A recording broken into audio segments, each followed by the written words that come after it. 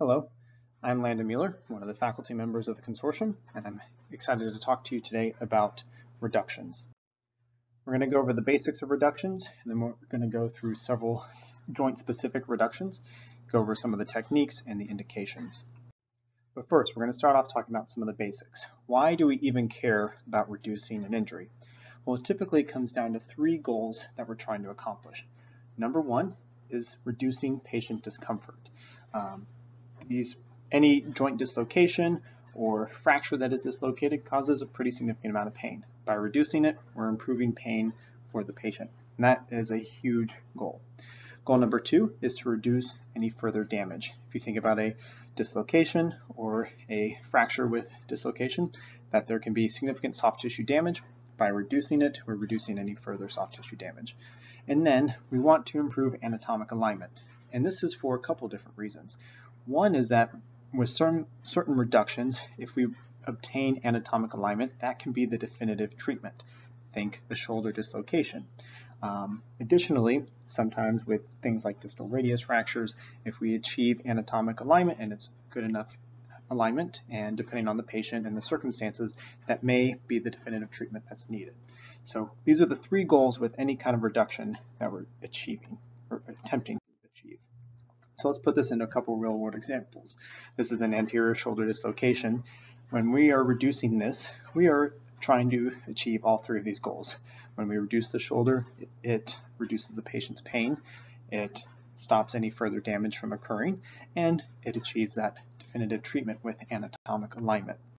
Versus a situation like this, which is a likely tri-mal ankle fracture, um, which this needs to be reduced and it needs to have better anatomic alignment, but it's not the definitive treatment. Ultimately, this is still going to need surgery, but by reducing it, we're at least improving the patient's pain and we're reducing any further soft tissue damage. So think about those three goals with um, any reduction. And then specifically for us as sports medicine providers, why should you attempt to reduce on the sideline?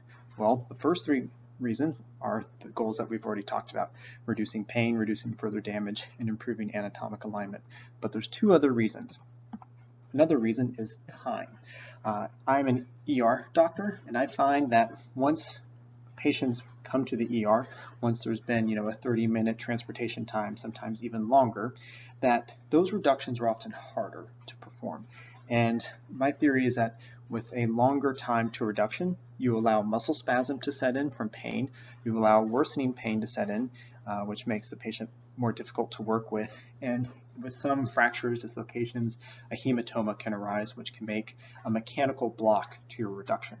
So if you notice a dislocated shoulder on the sideline and you're able to put that back in, oftentimes it's much easier to put that back in when you do it on the sideline versus half an hour by the time they get to the emergency department. So you're doing your athletes uh, a, a big favor by being able to perform these skills. And then finally, you may have a patient with compromised neurovascular status, and this is something that you have to check on all your patients. And so if you do have um, a patient or an athlete uh, who has a joint dislocation or a fracture with dislocation and you know on your neurovascular exam that they have reduced pulses, they have reduced color, they're having numbness and tingling, and you have the ability to reduce it, then you should do that to help improve the neurovascular status. So again, these are kind of the five reasons why you need to learn these skills and why they are important for reductions on the sideline. Going through a couple joint specific um, dislocations and reductions. So a patellar dislocation always occurs or primarily occurs with the patella being dislocated, to a lateral position. And this is usually a pretty easy and fun reduction. Uh, what you do as the provider is you apply medial directed force against the patella while also extending their leg. So oftentimes these patients come in with a slight flexion to their leg with the patellar dislocated laterally. You just apply pressure to the patella while you have um, the patient try to extend their leg or you have an assistant gently passively extend their leg and those two motions in com combination often slide that patella right back in.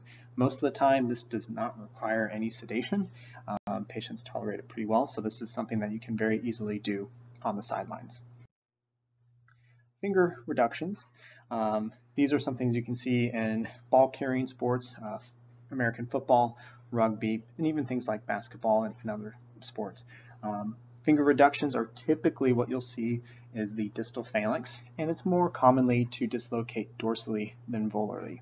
If you have lidocaine, um, then I would recommend uh, performing a digital block to provide pain control, but oftentimes these are pretty well tolerated because they're quick reductions. All you have to do is apply traction to reduce it. Sometimes if you kind of reproduce the uh, dislocation, so if it's dorsally angulated, if you just move the phalanx just a little bit more dorsally, that oftentimes will unlift the bone and allow you to then reduce with a little bit of traction. These are often very satisfying. You kind of get a little bit of manipulation, apply traction, and they usually pop right back in. Um, if you're unable to reduce, however, then you need to consider that there may be an, an avulsion fracture involving the joint, and that's applying a mechanical block. There may also be a trapped tendon or a volar plate injury, and that could be affecting your block. So at that point, you may need to refer to get x-rays or refer to the emergency department. Uh, and then definitively managing these, you apply a splint. Um, if it's a volar dislocation, it needs to be in, in full extension. If it's a dorsal dislocation, uh, you can basically just apply buddy tape, and these um, heal pretty well over the course of about four weeks. Shoulder dislocations, um, there have been over 50 methods of shoulder dislocations or shoulder reductions described in the literature. These are just a handful of some of the ones that um, are, are, more commonly used, and we'll go over a few of them. So the Stimson method is where you have the patient lying prone, usually on a stretcher or a table, and you take the dislocated arm and you apply weights to it um, just some traction weights that we have in the emergency department or whatever you have available in the training room. You kind of tie it off to their hand so they're not having to grip onto it. Instead, it's just um, the, the weight is going through their wrist. And then this applies gentle, steady traction. And you can allow the patient to just lay there for 10, 15 minutes. And oftentimes that weight, what it does is it um, essentially causes the patient to relax and for the muscles to fatigue, which then allows the shoulder to pop back in. You can also combine the Stimson method with scapular manipulation, which we'll talk about in just a second, and that's where I've had very good success, uh, where you, as a provider, also apply that scapular manipulation in uh, concert with the Stimson traction. Scapular manipulation is where you're basically applying a medial force through the scapular wing, and what that does is it essentially aims to move the glenoid fossa back into a more anatomical position and allow that humeral head to slide back in. So this can be done uh, basically in conjunction with any other method. So when I use an external rotation or a Cunningham technique, I often have an assistant with me apply scapular manipulation at the same time. And just like I mentioned, you can use the Stimson method and apply scapular manipulation. I like to think of this as an add-on for your other techniques. Milch technique is basically where you take the arm and you abduct it and rotate the palm towards the ground, and then you externally rotate at the end as you're moving that arm in abduction. This one can be pretty painful without some kind of uh, analgesia, whether that's full-on sedation or a hematoma block, uh, but it can be effective. External rotations is one of my personal favorites, especially if I have done uh, an intra-articular block or uh, some other form of regional anesthesia.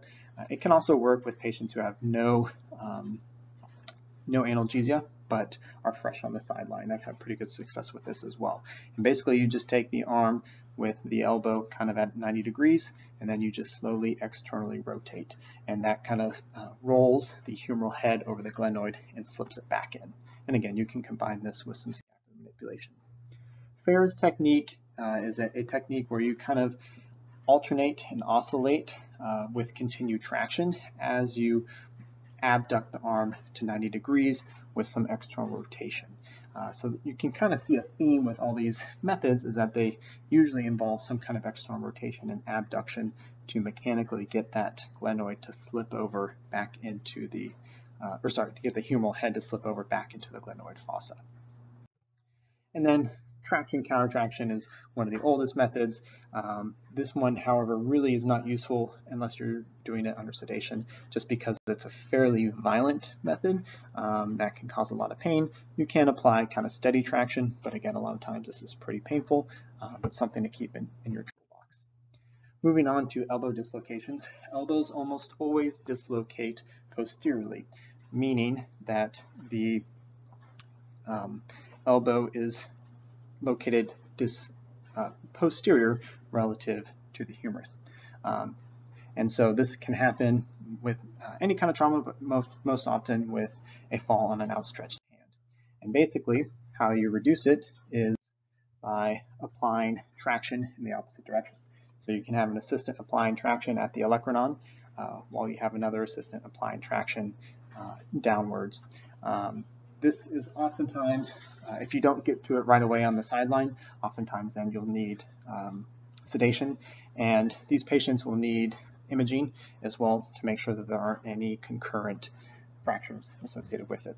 Uh, but if it was just a standard dislocation, patients can be placed in a sling and then immobilized for two to three weeks uh, before following up.